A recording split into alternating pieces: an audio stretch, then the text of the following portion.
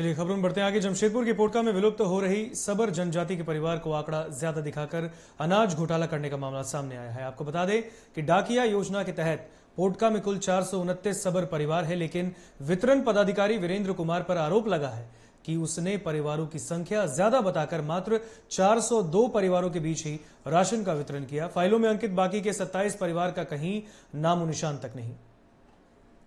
तो इसमें शुरू में चार परिवार मैंने देखा था, उस, और जनवरी माह में मैंने चार सौ उनतीस पैकेट चावल उठाया था। और मैं बांटने के दौरान ये पाया कि 402 पैकेट ही बट पाया धरातल पर उसके बाद मैंने सत्ताईस पैकेट मेरा बचा तो मैं फरवरी में उसको माइनस करके 375 पैकेट ही बिहार में एक ऐसा मंदिर है जहाँ नवरात्र के वक्त महिलाओं का प्रवेश वर्जित है।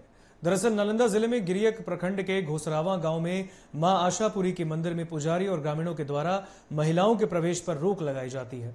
आपको बता दें कि यह प्रथा आदि काल से ही चली आ रही है। पौराणिक कथानुसार इस मंदिर का नाम आशापुरी रखा गया था। इस इलाके में माँ आशापुरी स्वयं प्रकट हुई और जिस स्थान पर प्रकट हुई, वहीं पर मंदिर का निर्माण करवाया गया।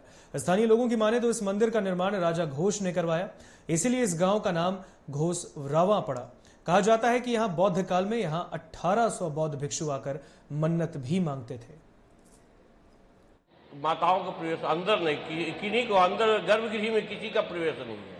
चाहे मर्द हो या औरत हो गर्भगृह में प्रवेश वर्जित है। वो कारण है कि यहाँ तंत्रयान पूजा होता है तो उस परंपरा को निवाह कर, करने के लिए यहाँ औरतों का प्रवेश बहुत दूर से आते हैं। बिहार से बंगाल से यूपी से अब वो यहाँ काफ़ी भीड़ लगती है मंगल के दस हज़ार अब बात करते हैं एंटरटेनमेंट जगत की। भोजपुरी सुपरस्टार दिनेश लाल यादव उर्फ़ निरहुआ और अभिनेत्री अक्षरा सिंह का एक रोमांस वाला एक वीडियो खूब वायरल हो रहा है। पिछले दिनों आपने इन दोनों की शादी वाला वीडियो देखा था, जिसे देखकर सब लोग चौंक गए, लेकिन इस बार फिर से इनके रोमांटिक वीडियो ने धमाल मचा दिया है। दरअसल, सबका बाप अंगूठा छाप फ़िल्म की शूटिंग इन दोनों, इन दिनों मुंबई में चल रही है और इसी सेट का वीडियो सोशल मीडिया पर खूब वायरल हो रहा है, जिसे फैंस काफ़ी ज़्यादा पसंद कर रहे हैं।